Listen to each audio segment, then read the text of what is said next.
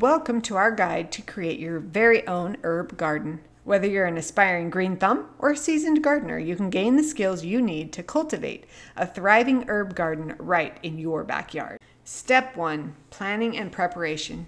Before you get your hands dirty, it's essential to plan your herb garden.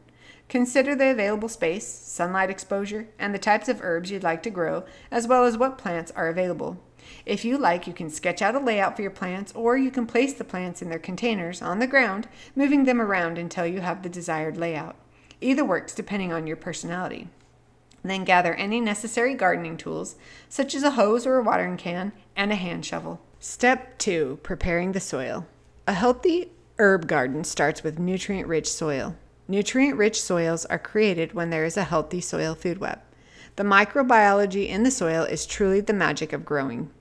If you have a heavy clay soil, then a mulch of wood chips will help to feed the microbiology in the soil, as well as hold moisture and help reduce weed seeds from sprouting.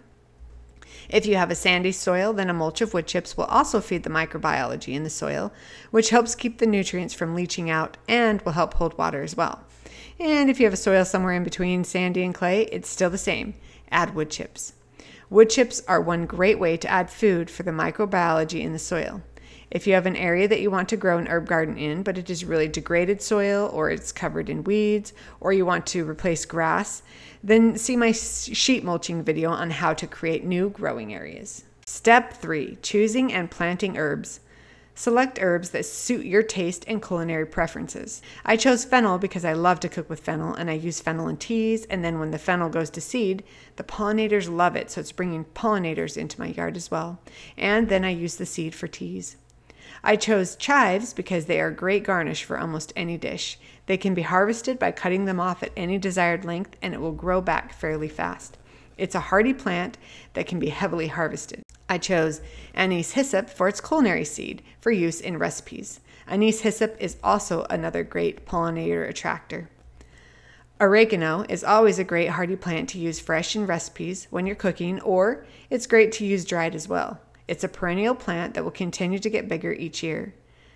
Rosemary has lots of uses, culinary as well as medicinal, and even in homemade soaps. In climates, it might not winter over, so it would need to be planted each year. Nasturtium is a flower that is also edible, used in salads and desserts. It also will not winter over and will need to be replanted each year. The nasturtium flowers add a beautiful touch to your herb garden.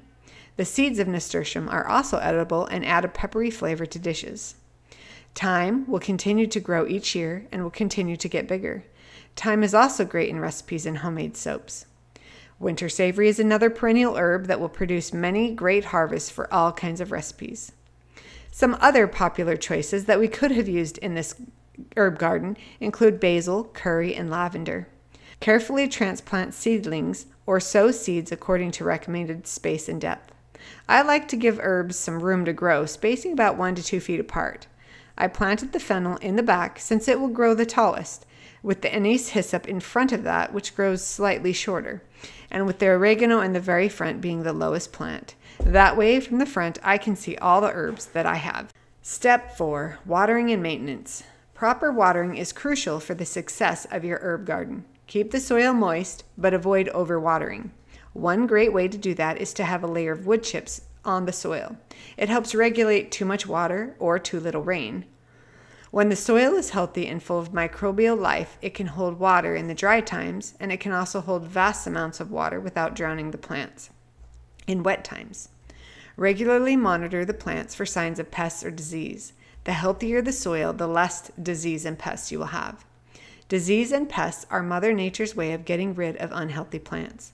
Unhealthy soils create unhealthy plants. If your soils are full of life, then they will grow healthy plants. Step 5 Harvesting and utilizing herbs. Once your herbs have grown, it's time to reap the rewards. Harvest the leaves or sprigs as needed, making sure not to damage the main plant. Explore various culinary uses for your fresh herbs, such as seasoning dishes, infusing oils, making herbal teas, or making homemade soap. By giving your herb garden proper care and attention, you'll have a constant supply of aromatic and flavorful herbs to enhance your cooking and bring nature's goodness into your home. Thank you for joining us on this journey of herb gardening. Don't forget to subscribe to our channel for more gardening tips, tricks, and inspiration. Happy planting!